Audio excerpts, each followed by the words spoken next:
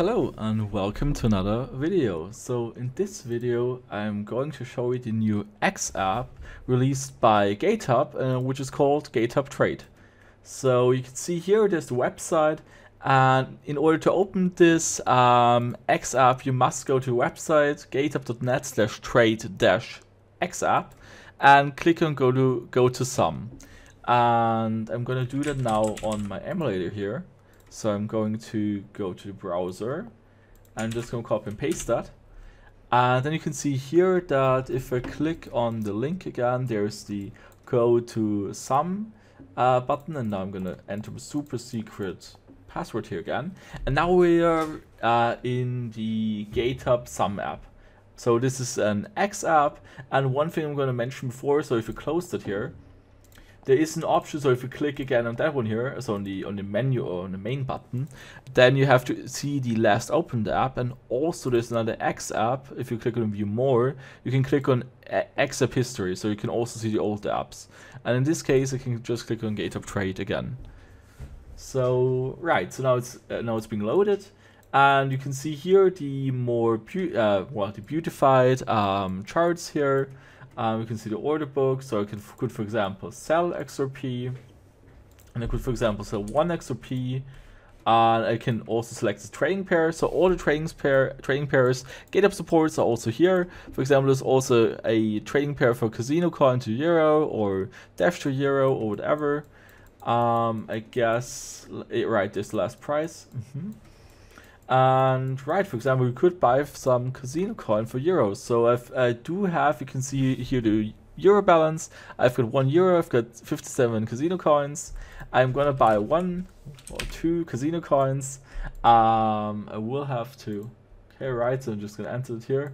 So, um, right, so, but I don't want that many. I want three casino. Ah, great. Okay, now it seems to work. So you can buy, for example, one casino coin.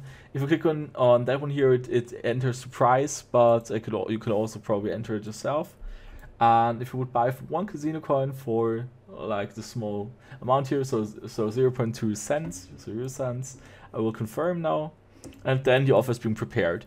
And this is, like I said, these are all trades on the uh, on the decentralized exchange, which lives on the XRP Ledger. And you can see here, I'm selling one casino coin for, um, right now I'm selling casino coin. Uh, and I will get 0 0.02811 euro. So I'm going to do it, oh, well, I'm going to sign it for now. Again, you have have to sign now the transaction. It's being sent to the XRP Ledger and validated. And then we're good to go. Right, and it's done. And now just bought, uh, so, uh, sold some casino coin now 58, uh, 56 instead of uh, 58, I think. Right. Yeah, that's how it works. So you can, it's it's very simple, but it's so I like the, it's just a more beautiful um, UI and the better user experience here. So the trading pairs look pretty cool. Also, design looks great, and also in trading XRP to Euro, for example, or XRP to US dollars. You can see the, here the issuer, so it would be XRP um, to, to US dollars, and under USD you can see the issuer.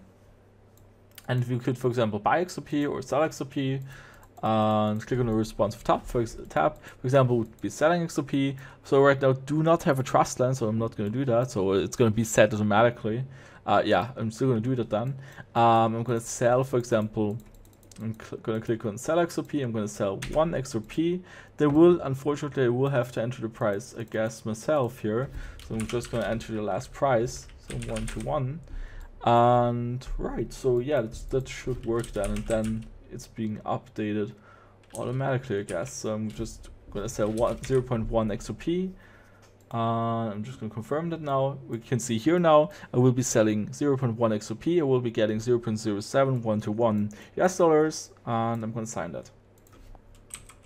So also the trading is very cheap. So you can see here right now I'm just paying, I think the fee is 0.2% as mentioned uh, in, in the tab, so the issue fee. And right, it should have worked now. So now I, okay, so it's not refreshing that I guess, but I'm just going to close it quickly. So is it here? Nah, I don't think it worked. It? Ah, okay, the offer is created, so it wasn't fulfilled yet. So we, we still have to wait until it's being fulfilled. So the offer is created, and at some point it might get fulfilled.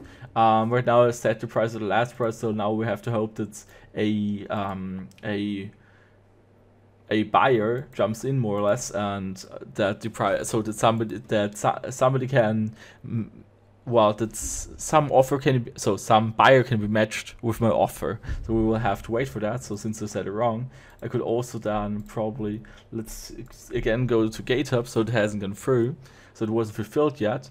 And if i go to the open orders i can still see them here. So you can see here for example i'm uh, currently that, that hasn't been fulfilled yet. So i'm just going to click on the x here. I can also cancel it again Alright, yeah, so, okay again, so it's being validated, it usually takes again like 3.8 seconds until it happens, and right, that's it basically. I hope you liked the video, I hope you've learned something, and see you in the next video.